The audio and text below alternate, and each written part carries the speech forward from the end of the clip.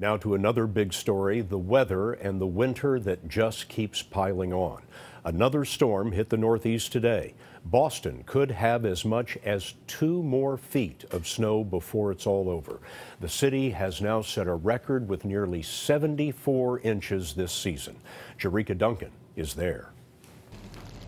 Throughout the day, the flakes kept falling in Boston, quickly adding height to the mounds of snow everywhere around the city. Cars are buried, transit systems shut down, and people like Joe Mulcahy were forced to either stay inside or dig out. You shovel again and you shovel again and you shovel again and you shovel again. This is New England.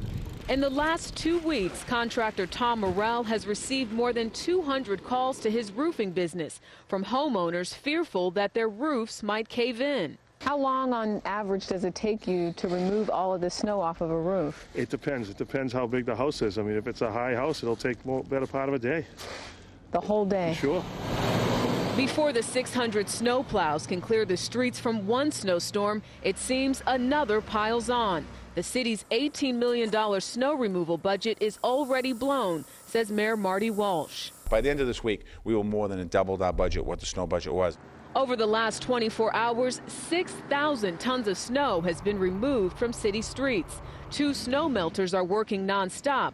Since yesterday, they've melted more than 19,000 tons. I we had the blizzard, which arguably was the worst of the three, uh, but the fact that we have so much snow on the ground that we got the second one 18 inches, and then today, I think they all seem worse than the one before it, just because there's so much snow on the ground.